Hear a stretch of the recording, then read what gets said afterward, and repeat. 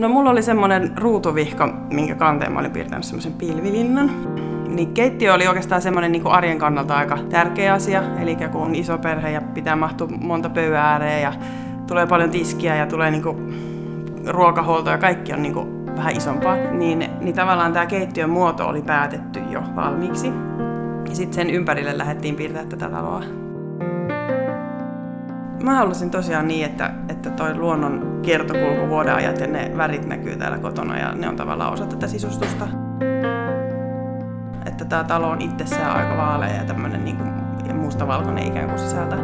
Mutta sitten ne kauden värit tulee tuolta ikkunan kautta. Se oli niinku tärkeä osa ja osa sitä, miksi muutettiin tänne. Niin sitten tavallaan olisi ollut hassua niinku sulkea se seinällä tuonne ulkopuolelle.